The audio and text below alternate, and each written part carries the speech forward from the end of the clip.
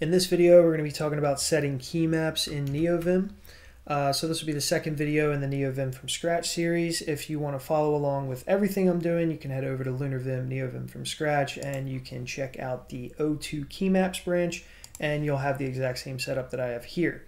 Uh, feel free to follow along with your own config. It's just a pretty simple video for the most part. So if you're just here to learn about key maps, you don't really need to have all this stuff if you don't if you don't want to.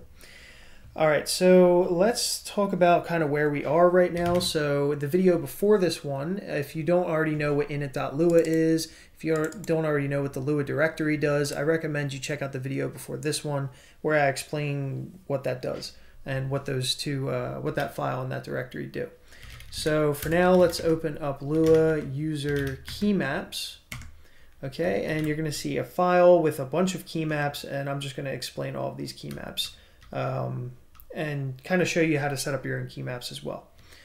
All right, so to get started, you can see that I have different sections for different uh, modes, right? So we have like insert mode, some some mapping for insert mode, some mappings for normal mode, and I'm just going to go through, you know, some of these mappings and explain what they do. All right, so let's just start with the better window navigation mappings. Um, this is, I think, a pretty common thing that people kind of say. It's a pretty, I've seen this as a pretty common uh, key remap. So let's uh, create a split window here. And let's talk about how we used to have to move between splits before uh, setting this key map. So to move up, I would have to do Control WK. To move down, I'd have to do Control WJ. And same for left and right, I'd need to do Control WH uh, to move to the left and Control WL to move to the right. Instead of doing that, what I can now do is just Control K to move up, Control J H to move left, and so on and so forth, right? So now I can more easily move between uh, windows.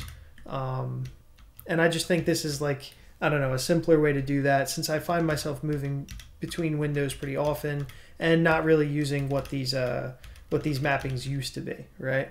So remember that when you remap something, you're kind of overriding what that mapping used to be. So I recommend looking up what these keys do before you just kind of like uh, override everything and then you end up with some uh, kind of like super non-standard uh, key key sets and key maps, right?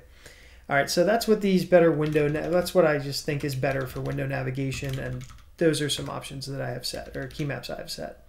So let's talk about the options that I have passed. So I have a function here called key map, which takes an n. The n is uh, for normal mode. This is the key that we're going to be mapping, and this is what we're going to be mapping it to. Um, so let's also talk about, well, let's first talk about the function here, key map. This is shorthand for vim.api.nvim key. So instead of typing that out every single time I want to do a key map, um, I just kind of shorthanded it to this. Now to make it simple, I put key map, but you could just make it K if you wanted to, or even shorter than that, right? But yeah, we basically don't want to type this out every single time we want to, you know, set a key map. So we just do this shorthand. All right, uh, let's talk about options too. So no uh, remap here actually stands for no recurse map. Um, you're basically you, you basically just want to set this. I'm not going to really explain too much about this. I don't want to really confuse anyone, but uh, basically, for the most part, this is the way you're gonna. This is an option you're gonna want to pass pretty much every single time, and then also silent so that we don't actually see an output for our map, right? So it'll be you can you can experiment with changing this. Like if you set silent equal to false, you can see that sometimes you're going to see like actually something show up in the output down there. All right, um, so that was window navigation, explaining the key map function here and explaining the options. Let's talk about your leader key. This is kind of like a really important key. This is maybe the most important key. And what your leader key is, is, is essentially a key that you're going to press before pressing a bunch of other keys to open up a ton of different uh, custom key mappings for yourself. So I use space as my um, as my leader key. And you can see that this is basically how you're going to do that. You're just going to remap space to a no op and then we're just going to put a literal space as our map leader and local leader. I don't really play around with like a local leader. Like I don't I don't really like use that as a concept really in uh, in Vim. I basically just think of this as just my regular leader is space, and I just use that. Um, so now let's talk about this mapping here. It's for normal mode.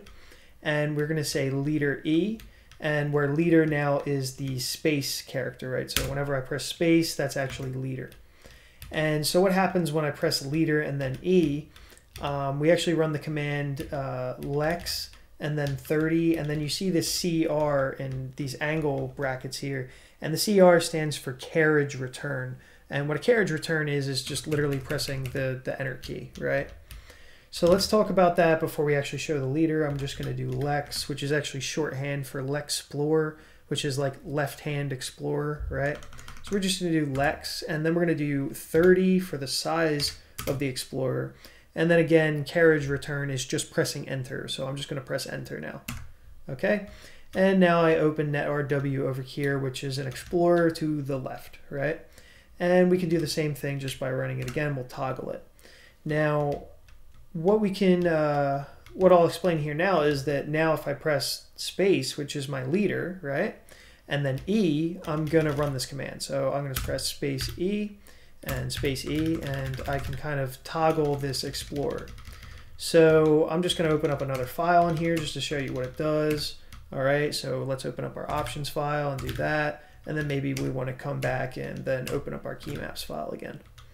All right, so, you know, experiment with some other commands. You can just come down here, press colon to go into command mode. You can press tab, and you can see all of your commands, everything um, that basically is a command. You can kind of experiment with uh, maybe some mappings, that, some leader mappings you might like, right? A lot of plugins will also expose a ton of commands for you to use, and we're going to go over those in future videos. But yeah, you know, just like experiment with setting like leader F equal to something or leader B equal to, you know, something buffer related or something like that. Um, I usually like it to be kind of like mnemonic, right? Like if I, um, I don't know if that's the right word, but like if like leader E is for explorer, like if I did leader B, it would be for buffers. If I did leader F, it would be for files and so on and so forth. All right, so now let's talk about resizing. Um, it's kind of the same deal. So this is a command, right? Resize minus two or plus two, and then CR is carriage return. So these are commands that you can actually run, but for resizing, would you really want to go down and run that command every single time, or would you rather just like kind of uh, press a key to do it, right? So we have control up, down, left, and right to resize. You can see I can easily resize things. If I jump over here, I can kind of resize up and down as well. So yeah. Um, let's see. Actually, I'm noticing too now that actually this this this looks a little off to me. So what I think actually up should be would actually be plus, and then down should actually be minus. So that's something that uh, I just caught right now, and that's actually how I think that actually should be. So I'm actually going to update that. Now, okay, navigating buffers. So a buffer is kind of like if you're coming from another text editor, uh, you probably can think about buffers more kind of like it's not exactly correct, but you can kind of think about them like tabs. Now, Vim already has another concept for tabs, but I'm, I do not want to get too deep into it, right? Now, if we do B next, right, like this, and then I press enter, we're going to go to the next buffer, right? And you remember that I opened up this options file earlier, um, and now we can kind of, you know, go between different buffers, right? So I'll do B next again, there's another empty one. I'm not really sure how that one got open, but so on and so forth, right? Now we can also move between them now with uh, the S stands for shift. So what this will actually be is capital L and this will be capital H, right? So now I can move between different buffers just with capital L and capital H. All right, so let's talk about uh, this insert mapping. So you can see now we have an I for insert. And um, so if we're in insert mode and we press J and then K really fast, we're back in, in, in uh, normal mode. So what I have JK set here equal to is just escape. So usually you have to press escape to go from insert mode into normal mode. Well, instead of that, if you just press JK pretty fast, you'll just go back in. So now you don't have to reach, you know, all the way with your pinky to escape or something like that. Maybe you have it mapped to caps lock, which I actually recommend too, but um, you know, JK is just like a way to kind of do that really fast. Now, also you'll notice that like it's not exactly perfect. So like if I do uh, like J, it takes a while to like actually insert the J key, right? So that's something that you also should be aware of is like that's not always uh, ideal, but it's not gonna like slow you down or anything. So like if I start typing like J and then start typing things, you're usually typing fast enough to where you won't actually notice that. All right, so visual mode. Um, this is for indents. So if you want to press like an angle bracket here to indent to the right, it'll actually hold on to that for you.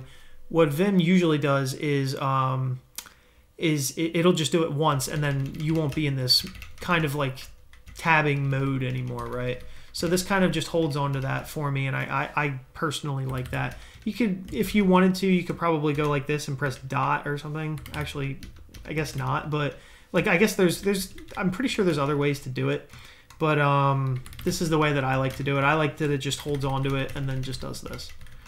All right. So let's talk about moving some text. I'm not going to undo this all the way there. Let's just move it back. Yeah. So let's talk about moving text. Uh, so A is for the Alt key. So now if I press the Alt key and uh, I press, well, if we're going to be in visual mode first, right? So we're in visual mode here like this. And if I press the Alt key plus J, or K, I mean, I'm just going to move all my text up. And if I press the Alt key and J, I'm going to move all of my text down like this, right? Um, that's pretty useful. I've seen people like kind of ask for that a lot, and it's something that you don't know you really want it until you kind of start using it. So yeah, so that's I think a pretty cool key map. Um, let's talk about this. Uh, this what what what is this? Right? What is this? What am I remapping P to in visual mode? Right? Um, what I'm doing here and this is the last one I'll talk about. I'm not going to really go too much further. This is basically the exact same thing as the uh, thing I just did earlier a second ago in visual block mode. But um, what I'm doing here is, is it's kind of subtle. So for instance, imagine I yank a key map here, right? And so now I paste key map. So if I then go and highlight ops and then I paste key map on top of it, what NeoVim actually does is it then kind of like yanks ops. And then if you go to paste again, what would normally be in that register would be ops. And I don't like that behavior at all. That really like that it kind of annoys me. I like to just hold on to what was uh, what I what I'm still pasting, right? So that's kind of um that's kind of like how I I don't know. I just like that better. So this is how you would achieve that. So that's this, that's this right here. It's kind of a little confusing to understand. It kind of, you would have to understand like registers and a few other things, but just know that that's what this key map does. And maybe I'll go deeper into registers in the future. Um, but yeah, so, so just, just imagine that if like you pasted over ops and then in your pasting from now, now on, you would have ops in there instead of key map, right? So we wouldn't want that or at least I wouldn't want that personally. So that's why I have this mapping there. All right, and the other ones are just like terminal mappings to move between windows, kind of like the same thing. And then, like I said, this visual block mode is basically just the only thing I'm doing with this is the exact same thing. So like if we are like this, and then um, like with capital K and capital J, just like that, right? Okay. So um, now, I think that's pretty much everything I wanted to talk about when it came to like actual key maps. Uh, we're just going to talk too really quickly about the init.lua file. So if you remember from the last video, I required user.options. Um, in this video, we're just we're going to kind of do the same thing. You'll notice this will be a theme throughout a lot of the videos. Is now we're just going to require user.keymaps. So where is that? It's in again Lua, then user and then keymaps.lua. Uh, you'll notice that we don't actually, again, have to put, um, we don't actually have to put like uh, lua.user.keymaps.lua. You don't need to do that. You can just use user.keymaps just like that. And uh, that'll require it. So if you didn't want these keymaps or you just thought something was messed up with your keymaps or something like that and wanted to test out uh, not having any of your key maps set, you could just comment this out and then restart NeoVim. All right, and I think that's pretty much it. I don't think there's really much else I really wanted to show about basic like key maps and stuff like that. Obviously, you can get a lot more complicated with this stuff, and we will in the future when it comes to uh, plugins, like actually mapping, um, setting up maps for particular plugin functions that are given to us or commands that are given to us and um, also way later on in the series we're going to talk about which key which is kind of like this but with like a menu situation as well.